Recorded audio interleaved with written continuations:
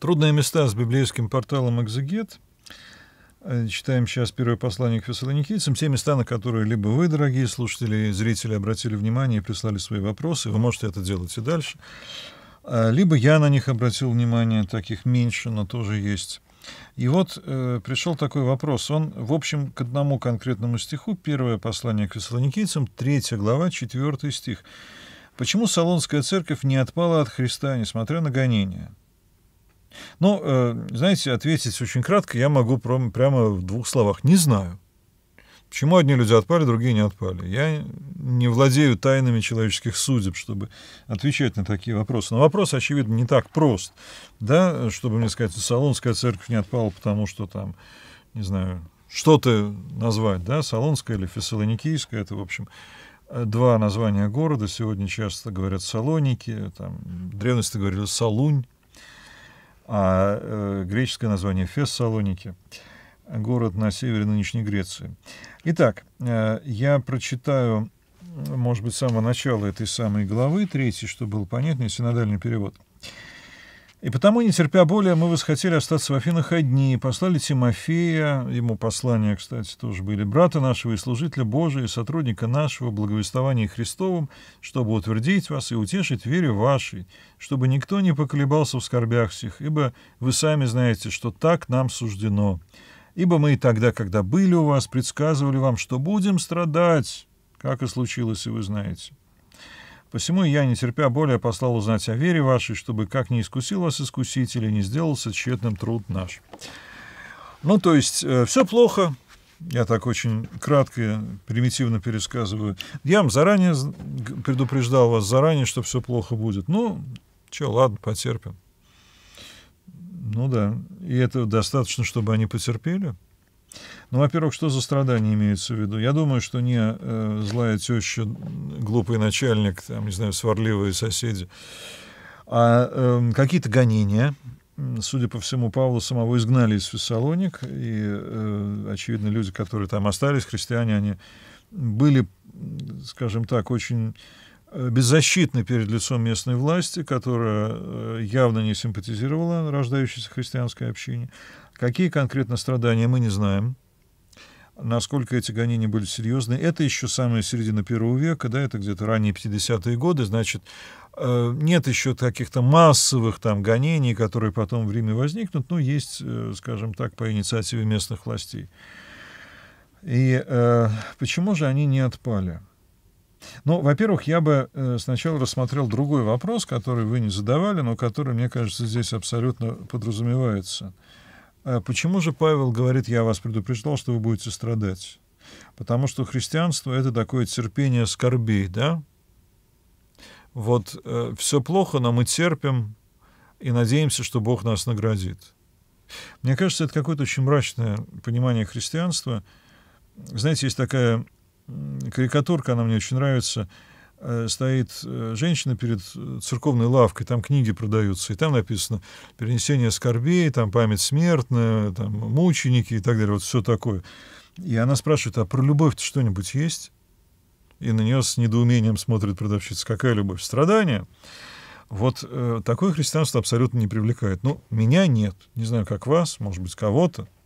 Меня нет. В общем, я не знаю людей, которых бы оно привлекало. Такое мазохистское несколько христианство. Давайте мы будем страдать и, э, и радоваться тому, что мы страдаем. Конечно, нет. Но смотрите, это же не первая глава послания. Тут уже много этих глав было. Это третья, да?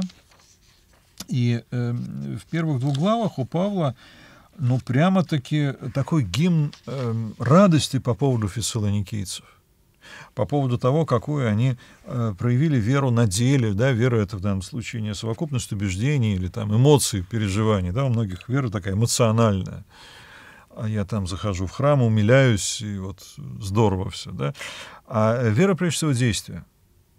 А вера прежде всего э, принятие э, Иисуса как своего Господа и Спасителя, о котором они говорят. И пример фессалоникийцев становится по окрестным городам примером обращения. Другие люди смотрят на этот пример и думают, да, значит, в этом что-то есть, и нам бы попробовать, раз у фессалоникийцев все так получается.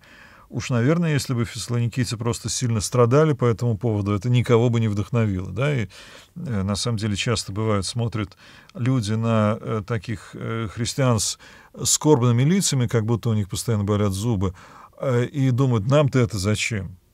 Ну, что в этом хорошего, да, чему тут подражать? Но э, вместе с тем, мне кажется, Павел очень твердо и реалистично говорит, э, что, смотрите, никаких розовых соплей. Будет э, и своя цена, будут свои испытания. Э, и он причем с самого начала говорит, кто будет страдать? Мы будем страдать, да, он говорит, но кто мы? Мы, когда были у вас. То есть он, мы в данном случае, говорит, не мы с вами, а вот мы, Павел, его спутники, Тимофей прежде всего, да, который тут тоже упомянут, эм, мы претерпеваем гонения. И поскольку вы понимаете, что выступаете на тот же самый путь, ждите подобного для себя. Это не прогулка по саду, благоухающему цветами, с приятными там напитками, плодами, свисающими с веток. Это, это жизнь, в которой есть место горю. И э, мы заранее вам сказали, но не про вас, про себя. То есть смотрите, какая деликатность. Э, проповедник страдания — это довольно жалкое зрелище, потому что он других людей призывает к страданию или предсказывает им это. Павел предупреждает о себе. Он говорит, я вступил на этот путь, это будет нелегко. Вы решайте сами. Я никого не тащу, я показываю, какой может быть цена. И смотрите, э, что делает он? Он не говорит, э, а вы там давайте терпите вот это все там, что там вам, терпеть ваша задача, да, абсолютно нет. Эм, но и не говорит какие-то вот такие розово-воздушные слова ни о чем. У нас вот любимое слово «держись». Я понимаю, что люди, которые его говорят, они имеют в виду самое хорошее. Но мне немножко коробит. Вот представляю себе, человек висит над пропастью, одной рукой там ухватился, ему говорят, держись, держись. Ты помоги его вытащить, если можешь. Ну, если не можешь, ну, э, хотя бы дай ему понять, что ты понимаешь, как ему тяжело. А держись это вот, возьми себя, зажми в кулак, тряпка безвольная, что ты, не мужик, что ли? Павел так не говорит. О, смотрите, э, он посылает Тимофея, своего брата и служителя, и сотрудника, да? Для чего? Для того, чтобы их как бы уговорить или там проверить послал узнать о вере вашей, не искусил ли вас искуситель. То есть э, Павел не берет себе власти над общиной, которую он создал. Мог бы, почему нет? Он лишь посылает узнать, как у вас проходят э, дела. Смотрите, когда нам по-настоящему плохо, мне кажется, что э, первое, в чем мы нуждаемся, это именно сочувствие. Нет, конечно, помощь, конечно, э, разные другие вещи, но э, сочувствие, заинтересованность другого человека — в том, что с нами происходит, как нам.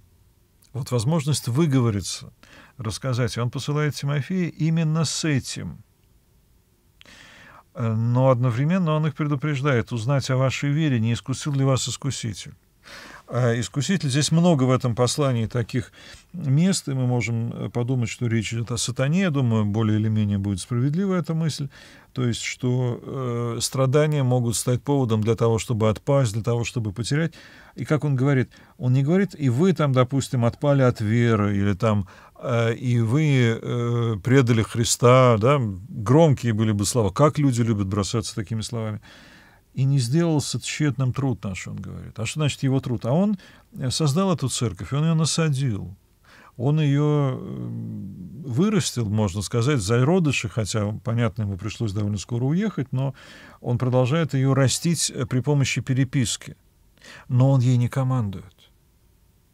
А он говорит, это мой труд, я вложился. Я понимаю, что любой труд, он может пойти прахом, да, вот строишь, а оно разваливается, сажаешь, а оно не вырастает, или там что-то еще делаешь, а результатов нет.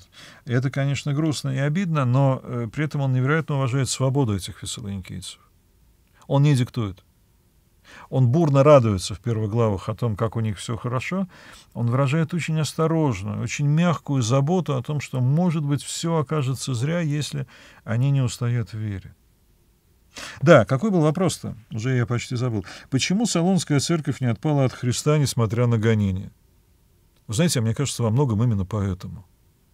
потому что Павел так с ней говорил, потому что в нем они видели образ христианина, пастыря, э, вообще любящего Христа человека, который э, не командир, который вот заботливый э, садовник, который э, любящий друг и отец. Вот может быть именно поэтому. Внеси свой вклад, оцени, подпишись и поделись этим видео.